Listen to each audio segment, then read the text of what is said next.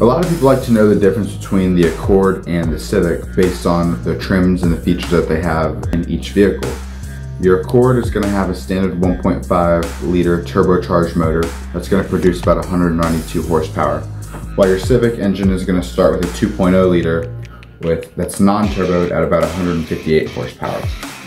Although the Civic does have another engine that offers, as soon as you get to the EX model, you'll pick up the 1.5 turbocharged motor, which will give you about 178 horsepower. Based on the features that they have in them, both of them will be equipped with full of your safety sensing features uh, from lane keeping assist, road departure mitigation system, forward collision warning, um, and advanced compatibility engineering, which is ACE body structure. The Vehicles will have a few different trims starting from the LX model, which is going to be your entry model.